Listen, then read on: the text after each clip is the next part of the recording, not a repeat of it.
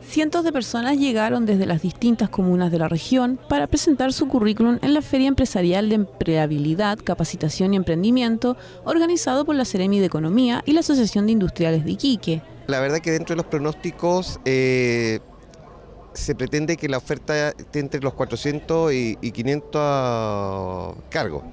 ¿ya? Eh, para nosotros es muy importante esta iniciativa, eh, aparte que es uno de los, pertenece a uno de los ejes de, nuestro presidente Sebastián Piñera, que el crecimiento obviamente eh, toma el empleo y una de las cosas que tenemos que preocuparnos nosotros es el, empleo y también empleo de calidad. Siempre estamos dentro de las dos mejores regiones hoy día estamos dentro de las dos peores en cuanto a empleo y ocupación. Por lo tanto, yo creo que hay posibilidades de que la empresa tome este guante y empiece a eh, ver la posibilidad de generar y eh, tener a más personas ocupadas. Yo creo que eh, la, empresa tampoco puede hacerlo de la noche a la mañana, va a depender mucho de las condiciones económicas e inversión que se den en la región, que sabemos que nuestra región está a puertas de proyectos importantes, tanto mineros como de otra índole, también pesqueros.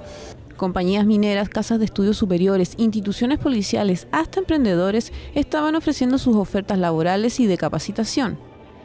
Es el caso de dos amigos que se atrevieron a emprender y crearon un videojuego. Es por eso que requerían de más gente para difundir más su producto. Es la primera vez que nosotros estamos asistiendo a una feria laboral, ya que nuestro emprendimiento se ha, crecido.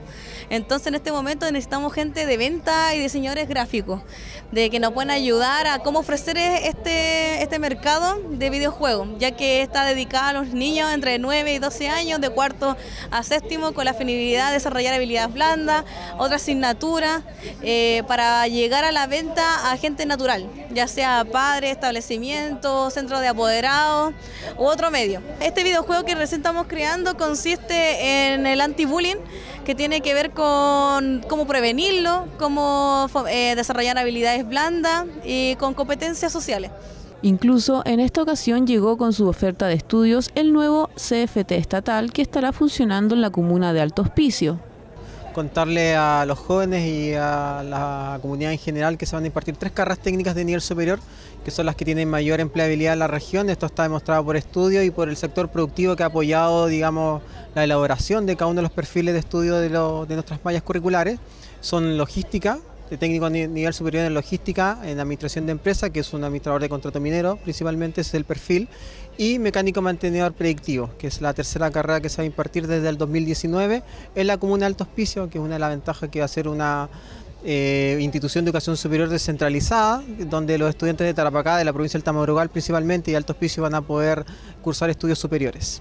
Coyahuasi participa en esta feria a través de sus empresas contratistas. Entonces está Komatsu, Sodexo y FL Schmidt son tres empresas contratistas nuestras que están eh, hoy día lo están aquí en la feria recibiendo los currículums, exactamente. Esta feria laboral recibió a más de 100 personas entre hombres y mujeres que llegaron hasta la Plaza Prat para postular a las más de 20 ofertas laborales de las distintas empresas de la región.